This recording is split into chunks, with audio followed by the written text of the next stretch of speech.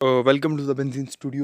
In this video we will talk about the embryonic development यानी कि हमारा embryo किस तरह डेवलप होता है। ठीक है ट्रिक जो इसकी है वो एंड में बताऊँगा। आपने क्या करना है जो पहले वर्ड है ना जैसे कि फ़र्स्ट मंथ में हर्ट फॉर्मेशन है एच याद कर लेना है जो फ़र्स्ट लेटर है। तो जो पहले मैं एक्सप्लेन कर रहा हूँ फ़र्स्ट मंथ में हमारे बेबी का हर्ट डेवलप हो जाता है यानी कि हर्ट फॉर्मेशन बेबी का मीनिंग मेरा एम्ब्रियो हुआ ठीक है मैं बेबी बोल रहा हूँ उसको। ठीक है फ़र्स्ट मंथ में हर्ट फॉर्मेशन हो जाती है।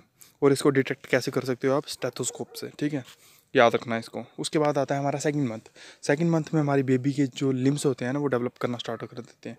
यानी कि उसके हाथ और पाँव जो हैं, वो डेवलप होना स्टार्ट कर देंगे सेकंड मंथ के बाद, ठीक है? याद रखना इस चीज़ को। उसके बाद आता है हमारा थर्ड मंथ थर्ड मंथ में हमारा जो बेबी होता है, उसके मेजर ऑर्गन्स जो होते हैं, वो डेवलप हो चुके होते हैं। ठीक है मेजर ऑर्गन्स जो होते हैं वो डेवलप हो चुके होते हैं। मेजर ऑर्गन्स कैसे मतलब आपका हार्ट ब्रेन किडनी और लीवर ये चार मेन ऑर्गन्स होते हैं, ठीक है, हमारी बॉडी के।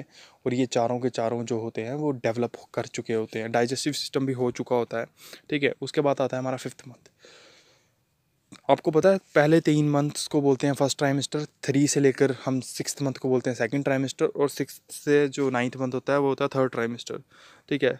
अब आता है फिफ्थ मंथ फिफ्थ मंथ में ना हमारा बच्चा किक मारना स्टार्ट कर देता है, ठीक है? बेबी जो होगा वो किक मारना स्टार्ट कर देगा और उसके सिर के बाल डेवलप हो जाएँगे। उसके बाद आता है सिक्स मंथ सिक्स मंथ में हमारा बेबी जो है, पूरी तरह से कम्प्लीटली हेयर ग्रोथ स्टार्ट हो जाएगी उसकी पूरी बॉडी में और और नाइन्थ मंथ में जो फुल्ली डेवलप्ड एम्ब्रियो होता है, उसको हम बोलते हैं फीटस और वो धरती पे आ जाता है, ठीक है? और इसकी प्यारी सी ट्रिक है that is hello M H जिसका मीनिंग क्या है? हेलो माही, ठीक है? याद रखना इसको, ठीक है?